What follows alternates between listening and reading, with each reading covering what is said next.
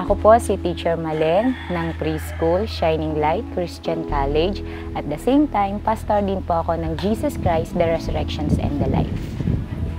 Ah, malaki ang naitutulong ng Shining Light College sa mga bata kasi tinuturo dito yung mga major subject pero hindi lang yun at the same time nauhubog din yung mga bata na ituturo din sa kanila yung pagmamahal, yung tamang values na ipapakita.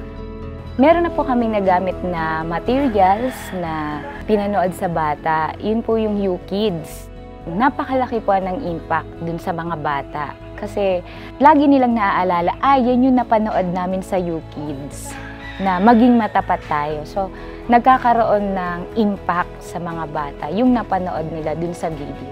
Sa mga magulang po, ah, nakikita din po nila yung pagbabago sa kanilang mga anak. Kasi minsan may mga magulang na lumalapit, ay teacher, ang laki ng pagbabago ng anak ko kasi nakikita ko sa kanya kung ano yung tinuturo sa school, ginagawa nila.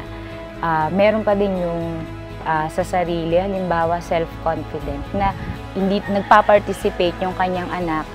Pero ngayon, nakikita niya, nakikita nila yun sa mga activities, pag may mga program kaming ginagawa. So, nakikita yun ng mga magulang.